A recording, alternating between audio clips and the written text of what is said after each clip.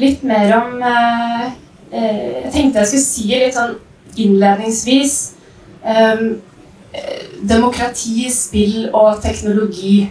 Jeg ble veldig glad for å høre i forrige eh, panel her på huset at det var noen som sa du trenger ikke å være ekspert eh, på en måte i spill og spillutvikling for å drive med det her.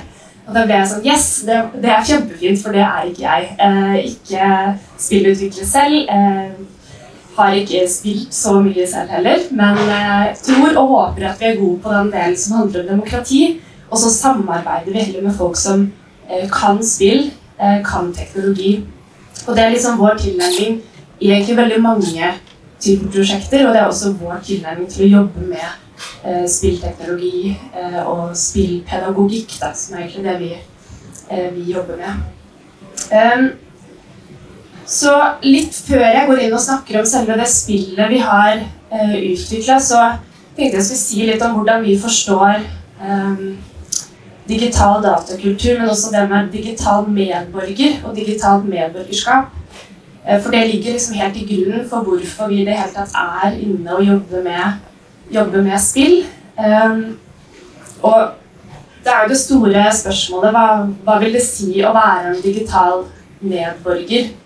Og på mange måter så handler jo det om å være eh, en medborger også utenom det digitale, utenom, utenom, spill, men også at vi inkluderer eh, spillverden og, og, datakultur i det å være eh, medborger. Så det handler rett og slett om hvordan måte, du og jeg og vi som medborgere kan være med å også påvirke aktivt den eh, hverdagen og det livet vi har eh, digitalt. At man ikke på en måte bare er en passiv mottaker eh, eller en passiv eh, bruker, men at vi er med å påvirke den verden også på samme måte som vi jobber for å eh, inkludere folk i, i, demokratiet ellers også. Eh, og så er det jo på en måte noen forutsetninger som må ligge til grunn da, for å være en digital medborger. Og det ene handler om tilgang. Det ble også nevnt i forrige debatt her, dette med å ha tilgang til og ha ressurser og eh, ha, ha, råd til og ha mulighet til. Det er liksom noe som må, må ligge til grunn. Eh, og så må du også ha noen måte, ferdigheter til å kunne bruke eh, teknologien. Men dette med digitalt medborgerskap handler egentlig om mer enn dette med tilgang, og det handler om mer enn eh, å bruke digitale verktøy, men også det handler mer om trygghet. Trygghet er jo noe man snakker veldig mye om når det er knytta til digitale, uh, digital teknologi. Uh, mye sånn overskrifter. ikke sant, hva uh, Barnet mitt sitter foran skjerm hele tiden og spiller, på en måte, og det er liksom inngangen. At man snakker mye om trygghet. men vi har ønsket å legge mer vekt på digital medborgerskap som at barn og unge har på en måte en um, mulighet til å være med å påvirke dette selv. Da, som kanskje en mer håper vi da en mer positiv tilnærming til å jobbe med, eh, med digitalt medborgerskap. Um, ja, og en del av det handler jo om for oss å gjøre det mer synlig for um, barn og unge på hvordan de kan være med å påvirke samfunnet rundt seg. Hvordan kan de være med å uh, uh, delta i samfunnet også før man kan stemme ved valg. For det er på en måte det som man tenker på uh, som deltakelse i demokratiet. Uh, men det er så mange andre måter man kan gjøre det på, og ta med ungdom i de, um, de diskusjonene der. For det vi vet da, når det kommer til digitalt medborgerskap, så vet vi at de altså barn og unge som har erfaring med å ha vært med å eh, arrangere en form for deltakende aktivitet, eh, politisk aktivitet, i det de måte, interesserer seg for, det er mye større sjanse for at de også kommer til å fortsette å delta i demokratiet som, eh, som voksne. Eh, så det er en måte det ene eh, prinsippet eller eh, grunntanken vi også jobber ut fra, er at ungdom som engasjerer seg nå, mest sannsynlig også kommer til å engasjere seg senere. Det samarbeider vi bl.a. med, med Oslo Met og forskere der som forsker på ungdoms deltakelse. Um, I tillegg, det tenker jeg skal kanskje komme litt tilbake til, så vet vi at uh, ungdom som ser andre ungdom som ligner på dem selv, som deltar i uh, demokratiet, som deltar i uh, politiske aktiviteter, det inspirerer ofte til eget engasjement. Så når du ser andre som ligner på deg selv, som gjør noe, som får til noe, så, så, vet vi også fra forskningen For jeg tenker at vi vet det stor grad fra erfaring. Alle som jobber med ungdom, ser jo dette. Men forskningen også viser det. da. Eh, så det er også liksom noe viktig for oss når vi gikk inn i dette med spill og, eh, spill og digital teknologi, eh, å ha dette, dette med oss. Um, så tenkte jeg skulle gå litt videre og snakke litt om um, ja, demokrati og medborgerskap som noe vi lærer. Uh, og, og, det er også et grunnprinsipp. Det er jo på en måte ikke noe du bare blir født med. En opplevelse av hva er, hva er demokratiet, og hvordan kan jeg være med, uh, være med å påvirke demokratiet. Uh, det er noe som må læres. Og så vet vi også at, at det er noe som læres gjennom én erfaring, men først og fremst kanskje to å reflektere over erfaring. Så du er med og erfarer noe, og så alene eller sammen med andre så reflekterer du over den erfaringa i etterkant. Eh, og det har vi også med oss inn i hvordan vi jobba med å utvikle, eh, utvikle spill. Eh, at det skulle være en erfaring å gå gjennom, og så kunne man da reflektere sammen med andre gjennom den erfaringen i etterkant. Ja, og så er vi litt sånn Da tenkte jeg skulle videre snakke om det vi egentlig har gjort da, med tanke på eh, spill. Og det starta egentlig midt under eh, pandemien. Um, vi, vi, på Wergelandsenteret jobber sammen med eh, Utøya. Det har vi gjort nå siden 2015 om å arrangere opplæring for ungdom eh, knytta til læringssenteret på Utøya.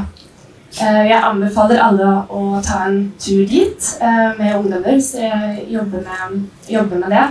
Eh, og de samlingene vi arrangerer der, er jo nettopp dette med å møtes ansikt til ansikt. Det er ungdom fra hele landet som reiser, og vi er sammen i flere dager. Og det sier seg selv at det ble veldig vanskelig å gjennomføre under pandemien. Så vi måtte tenke litt sånn nytt. Både sånn hvordan hvordan når vi ut? Er dette en eh, jeg føler det er litt sånn tynnslitt begrep, da, men hvordan kan vi fornye oss og tenke nytt eh, når eh, alt, alt endrer seg? Selv om vi kanskje bare hadde lyst til å resignere. Men da måtte vi på en måte tenke litt sånn nytt om hvordan vi hvordan jobber vi med ungdom, og hvordan kan vi nå ut. Og da hadde jeg en tidligere kollega som er veldig dyktig, nå jobber i LNU, som kom med ideen at vi kunne lage et spill. Eh, og så, Det var egentlig sånn vi på en måte begynte å komme inn i den, eh, i den tematikken. Eh, og vi satte oss ned og tenkte sånn Ja, vi har på en måte grunnlagsdokumentene. Europarådet har laget en guide til hvordan jobbe med spillundervisning. Eh, vi jobber allerede mye med digitalt medborgerskap på andre områder. Eh, og så handlet det om å kartlegge litt hva det som finnes i, finnes i Norge. Og eh, disse store spørsmålene. Hvorfor skal vi gjøre det, og hva kan være vår rolle? Litt sånn tilbake til det jeg sa innledningsvis. Vi kan jo ikke så mye om selve måte, spill og, og teknologi, eh, men vi har som utgangspunkt at, vi, at det er en arena som ungdom er på. Det er en arena som, som fanger stor interesse det er også en arena som en del ungdom som kanskje ikke eh, Med fare for å på en måte eh, videreføre myter, da, så er det kanskje en arena hvor ungdom som vanligvis kanskje ikke ville meldt seg til å være i elevråd eller lokalt ungdomsråd og eh, blitt med i det måte, formelle demokratiet. da. Så vi tenkte at det var kanskje en måte vi kunne bidra til et engasjement, og også for ungdom som satt rundt i landet og følte seg litt alene. og at vi kunne skape et eller annet positivt eh, med det. Eh, så da, da, hadde vi jo heldigvis eh, støtte fra Sparebankstiftelsen DNB til et stort prosjekt som handla om ungdom og ungdoms deltakelse. Eh, og så var de fleksible og skjønte at det ble vanskelig for ungdom å reise til oss, og sa greit, kjør på, lag, lag spill. Så det var veldig glad for det. Og vi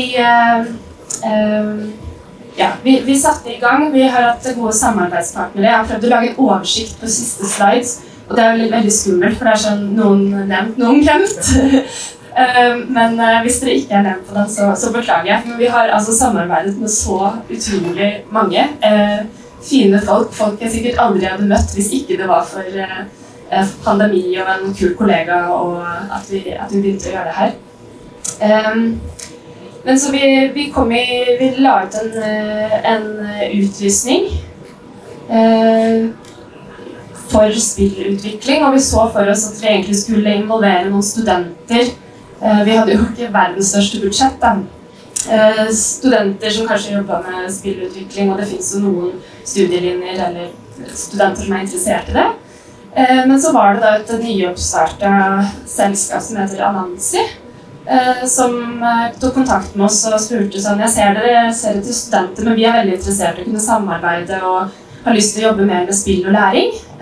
Så er det greit at vi sender et, et utkast til hva vi kunne sett for oss. Og, og vi vil gjøre det litt sånn på, på et lavt budsjett fordi det er en god sak. og litt sånn. Så da, da fikk vi kontakt med annonser, Vi hadde et møte med dem. De kom med noen eh, ideer. Eh, eh mange, mange, interessante ideer til, til, hvordan man kan jobbe med, med demokrati og spill. Eh, og så hadde vi samtidig en gruppe, satte ned en gruppe. Vi har samarbeida med Ungdom og Fritid. Eh, vi samarbeida med Hyperion, eh, Press, altså Redd Barnas ungdomsorganisasjon. Diverse fritidsklubber som vi uansett hadde kontakt med gjennom prosjektet allerede. og ja, satte i gang med å utvikle, utvikle et, et, spill. Og så hadde vi jo Det var liksom noen prinsipper eller tanker vi hadde til grunn, da, i tillegg til måte, det overordna knytta til demokrati og medborgerskap, som handlet litt om det er jo mange, eller flere da, i vår bransje på en måte som driver med menneskerettigheter og demokrati, og som tenker at man skal lage spill for hvordan får man ungdom med på å, å snakke om demokrati og menneskerettigheter. Da må vi gjøre noe da må vi gjøre det gøy.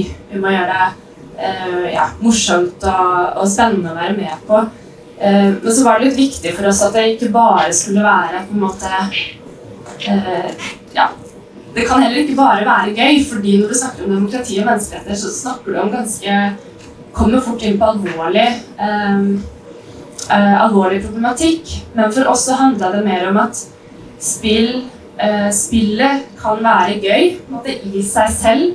Det kan gjennom spillet ta opp noen problematikker, men som vi, eh, en voksen fasilitator eller en ungdomsleder eller noen på en måte med den type rolle, kan ta opp etter å ha spilt spillet. Så vi landet på en måte på, eh, på det.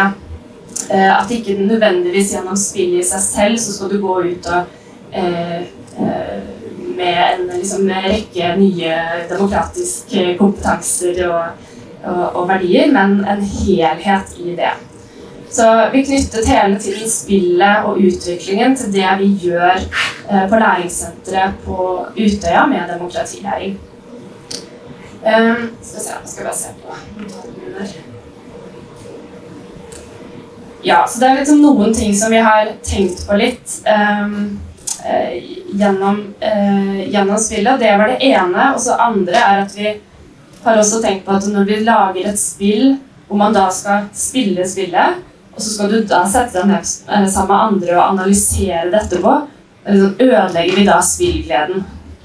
Og det vet jeg også lærere som bruker spill i er litt sånn usikre på. da, At du spiller et spill som utgangspunktet er gøy, og så skal du gå inn og analysere det etterpå. Og jeg er sikkert mange som liksom har diktanalyse på skolen som, som, på en måte kan kjenne seg igjen i det, og det snakka vi litt om, da. Eh, så vi, derfor så har vi også valgt å lage vårt eget spill, da, sånn at ungdommer som spiller det, har ikke et forhold til det spillet fra før av. Um, og de det, det, er uansett helt, helt, nytt for dem, så det er ikke sånn at vi går inn og får dem til å analysere fritidsaktiviteten sin. Um, og det går an å gjøre det også, da. Det er bare for å ha sagt det. Men uh, det var i hvert fall noe vi uh, vi tenkte på. Um, en annen ting vi tenkte mye på, var dette med um, tematikk. Kan på en måte alle temaer læres godt gjennom spill? Uh, altså nå jobber, har jo vi jobba med Utøya og læringssenteret der i flere år. Uh, og bare det å begynne å snakke om at vi er på Utøya og vi skal spille et spill og den der problematikken der, det var noe vi, vi diskuterte mye. og er liksom all tematikk egnet for å bruke i et, i et morsomt spill? Så selv om dette spillet vi har laget, da er eh, tematisk knytta til demokrati og menneskerettigheter, så er jo ikke dette et spill som handler om Utøya. Det er jo ikke et Utøya-spill eller 22. juli-spill. og det var vi liksom opptatt av helt fra, fra begynnelsen av. Um, så tenkte jeg bare skulle si litt kort om Skal vi se Selve, selve spillet, da. Nå har jeg liksom bygd det opp. Um, spillet heter Oslo 2084. Det er jo litt sånne referanser som sikkert eh, kanskje ikke ungdommene som vi jobber med, tar. Kanskje, kanskje ikke. Eh, men det er sikkert flere i rommet her som tar det. Eh, men i utgangspunktet så endte vi opp da med å lage et Det er litt sånn dystopisk Oslo, altså i 2084, hvor kunstig intelligens har tatt mye over. Og hoved Karakteren i spillet ble da Embla.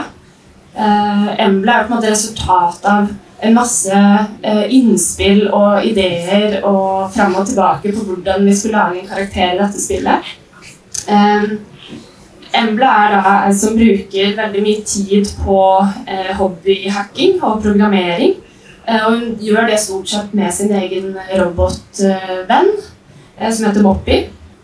Um, og i denne byen da, så er det eh, ja, I stor grad er samfunnet styrt av kunstig eh, intelligens og ny teknologi. Og så er det gjennom spillet. da, eh, Det er et plattformspill. Det er gratis. Eh, og der må eh, Embla måtte komme seg gjennom ulike hindringer og løse ulike oppgaver sammen med Moppy for å komme seg, eh, komme seg videre. og vi har også knytta en del av oppgavene da, til konkrete demokratiske eh, dilemmaer. Så hele spillet, på en måte hele den verden, er at det antidemokratiske krefter har tatt over, og Embla skal på en måte redde, redde verden.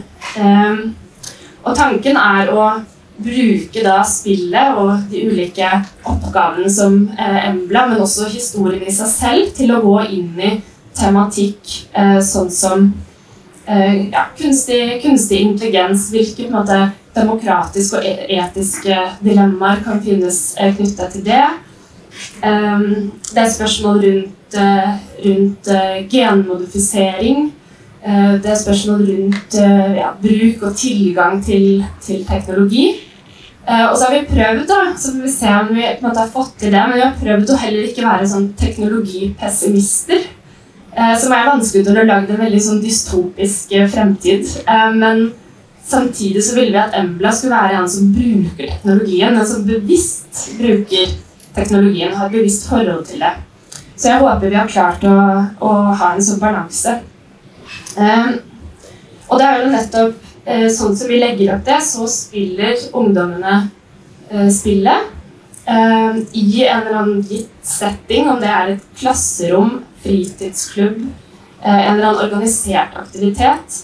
Og i etterkant så har de eh, samtaler basert på et ressurshefte som vi har lagd eh, til spillet.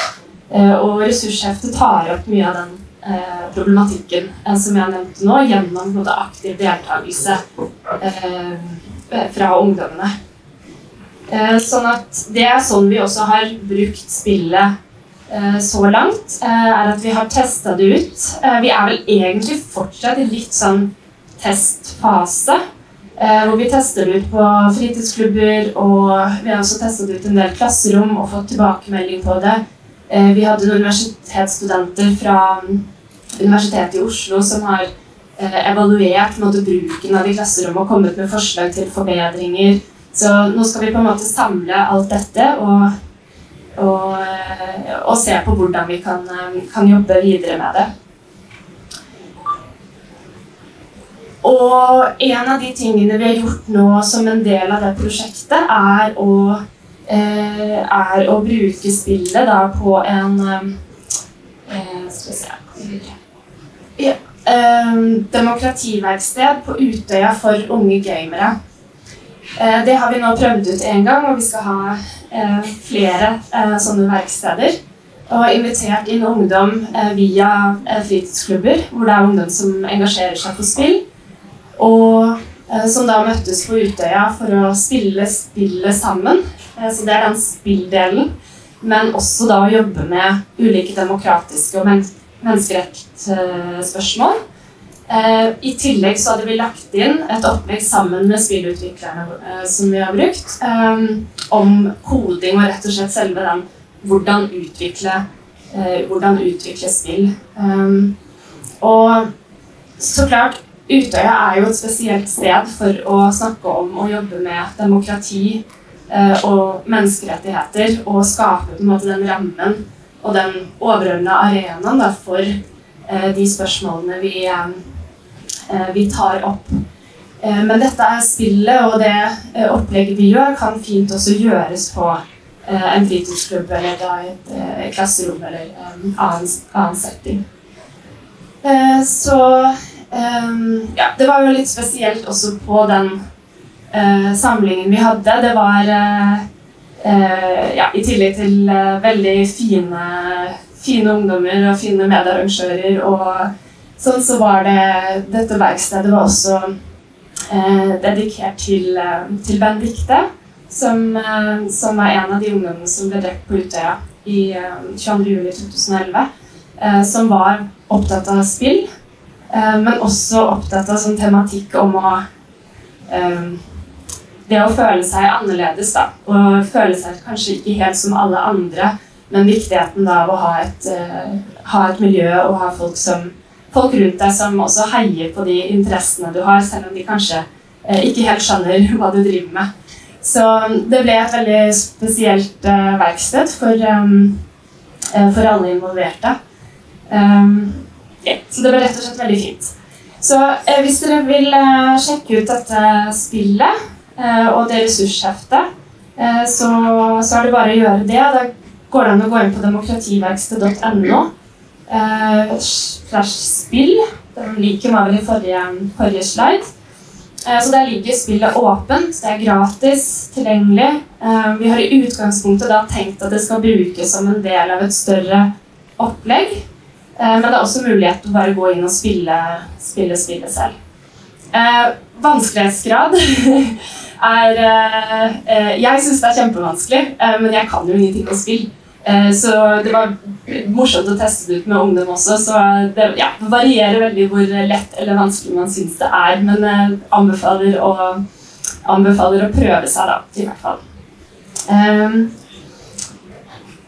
yeah. Så her er alle de vi har samarbeidet med. Eh, sikkert flere vi har samarbeida med. Eh, men, eh, men ja, morsomt med mange nye folk som, og organisasjoner. Uh, vi ser fram til også videre samarbeid nå med bl.a. Ungdom og Fritid, som vi har, um, har, gode samtaler med. Og, og, veldig glad for den støtten vi har fra Sparebankstiftelsen, som gir oss masse frihet til å, til å prøve ut og, og teste og, og feile og ikke feile. Men eh, jeg tror jeg gir meg, gir meg, der, og så skal jeg åpne opp for noen eh, spørsmål. hvis jeg har tid til det. Fem minutter til spørsmål. Men tusen takk skal du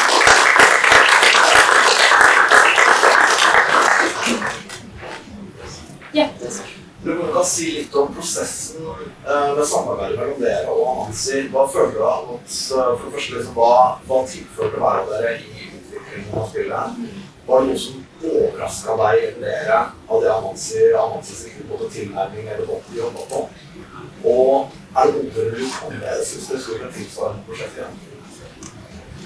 Ja, ja, stort spørsmål. Um, med tanke på hva vi tilførte hverandre, ja, det er interessant. Vi har Det var jo på en måte som om to ulike verdener kolliderte. Det var på en måte sånn vi starta.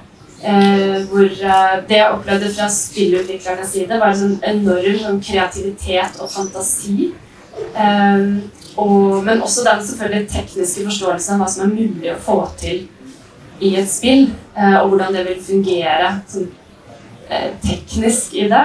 Så er både den veldig kreative delen og den tekniske delen.